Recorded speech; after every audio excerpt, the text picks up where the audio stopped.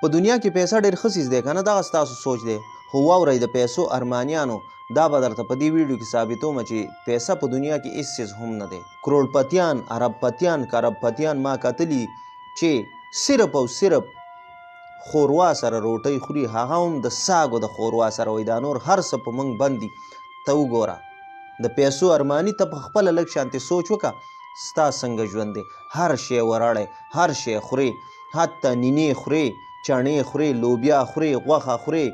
کیمه خورې د الله تعالی ټول نعمتونه خورې خو بیا هم د پیسې ارمانی کوم چې سکون بربادای په دې ویډیو کې تاسو لپاره ډیر غټ سبق او غټ عبرت دی خو که چېرې تاسو دا ویډیو پوره پوره وګورئ دغه کم انسان چې تاسو ته په دې سیټ باندې ښکاري دا د دنیا د ټولو نه مالدار ترین انسان دی د ده سره د سرو زرو ګاډي شته دی چې په کم واشروم کې بار ته کینی هغه هم ټول د سرو زرو دی د د سرو زرو جهازونه شته دی د د هیڅ کمی په دنیا کې نشته دی دی چې کله ماشین چالو کی د د ماشین د وو په ځای تیل راو باسي ګرانو کتونکو دا د سلیپینګ پرنس باندې مشهور د سعودي شاهزاده رائل فیملی سره تعلق ساتي د ده د پلار خالد بن طلال نوم دی او د ده نوم چې کوم دی ولید بن خالد دی دا د اتلسو کالو نه د کومه په حالات کې پروت دی دی بې اوشه دی خو د ده مال دولت او د ده هغه جیداد چې کومه دی هغه ټول د ده دپاره د وقف کېدو اعلان هم شوی دی خو بیا هم په هغه باندې هم دی چې کومه دی د کومه نه راونوتو د د صحت چې کومه دی هغه د دغه پیسو په وجه باندې د دغه پیسو په زور باندې هم واپس را نلو د دغه بیوشي د پیسو په زور باندې هم لا نړه نن نه تلس کاله مخکې پورې د د هم یو شاهانه زندگی و دی هم یو ځوانو لندن ته تلو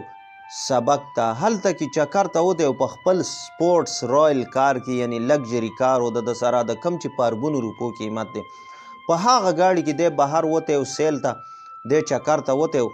د هغه سپیډ د انتها نه سیوا کو او په دغه دوران کی د اکسیډنټ وکړو په دغه اکسیډنټ کی دی چی کومه دی بی هوشه شو هغه دوران کی چی کله دی بی هوشه شوی اتلس کاله کیږی تر ننه پوری دی چرې هم په وش کې رانلو حالان کې د سره د دنیا د ټولو نه تجربه کار ډاکټر د دنیا د ټولو نه تکړه تجربه کار سرجن او د دنیا د ټولو نه غټو غټو ډاکټرانو ټیمان چې کومه دی اوس هم موجود دي او په د باندې ډیره زیاته خواري هم وکړه خو د چرې هم کومانه راونه وته دی اوس هم د مرګ او ژوند په کشمکش کې دی یعنی د بیهوشۍ په حالات کې دی نن نه درې کاله مخکې ده یو ځل صرف د لاس یو ګوته خوځولې وه، په هغه باندې د دغه خاندان چې کومه ده ډېر غټ جشن مناو کو او هغه یې ویل چې زمونږ دا شهزاده امید پیدا شو چې په هوش کې راشي خو تر ننه پورې درې کاله وشو بیا یې چرې هم نه لاس وخوځاو نه غوږ وخوځاو نه سر وخوځاو نه پوزه وخوځوله. حالان کې د د لپاره د چې کله اکسیډنټ وکړو ګرانو کتونکو نو دی فورا د دنیا د ټولو نه غټ اسپیتال ریاض اسپیتال ته بوتلی شو هلته کې د لس کاله د کومه په حالات کې تیر کړو ډاکټرانو ورسره ډیر زیات مهنت وکړو زړه ورسره وچاو خو دی د کومه نه راو نه ویستو بالاخره لس کاله بعد ډاکټرانو دا مشوره د دوی والدینو ته ورکړه چې دی تاسو کور ته بوځئ ولې چې دلته کې خو موږ د سره هر محنت وکړو هر کوشش هم وکړو خو دی چرې هم د کومه نه راونه وتو دی کور ته بوسئ بوځئ دی کور ته بوځئ هلته کې د ده خیال ساتئ او دی به کور کې وي حالان کې د سره د خاندان ټول خلک ډیر زیات پریشان دي ولی چې د یو خاندان بیا د رایل فیملی یو غړی چې کومه دی هغه د بیوشۍ په حالات کې پروت وي سهار غرمه ماښام ټول خلک راځي د هغه دیدن کوي د هغه د سترګو غړولو په ارمان وي او خپل ټول جیداد هم وقف کوي چې زمونږ دا شاهزاده چې کومه دی د ده سترګې وغړېږي دی یو ځل اواز وکړي خو چرې هم ونه شوه هغه دولت هغه شهرت هغه صحت هیڅ هم د ده په کار رانله دی اوس هم دغه شانتې د بېهوشۍ په حالات کې پروت دی حالان کې د ډاکټرانو یو د تکړه ډاکټرانو یعنی د دنیاوي سطحې تکړه ډاکټرانو یو ټیم هم د دی سره موجود وي په کور کې چوبیس ګنټې او د د پلار خالد بن طلال د دنیا کوششونه وکړو خو هر کوشش کې ناکامه کیږي هر څومره پیسې چې د سره ده هر څومره پیسې چې دی لګي هغه کې ناکامه کیږي نه د ده هغه هیرې جواهرات د ده په ښه راله نه د ده هغه ماشین چې کوم تیل راوباسي د اوبو په ځای هغه د ده په ښه راځي او نه د ده هغه سونې ګډر د سونې واشروم د سونې فلش د ده په کار راځي نه د سونې جاز نه د سونې ګاړی په کار باندې راځي نو آیا ملګرو تاسو ته وایم چې پیسه ښه څیز دی او که صحت ښه څیز دی که روغ صورت ښه څیز دی او که سکون ښه څیز دی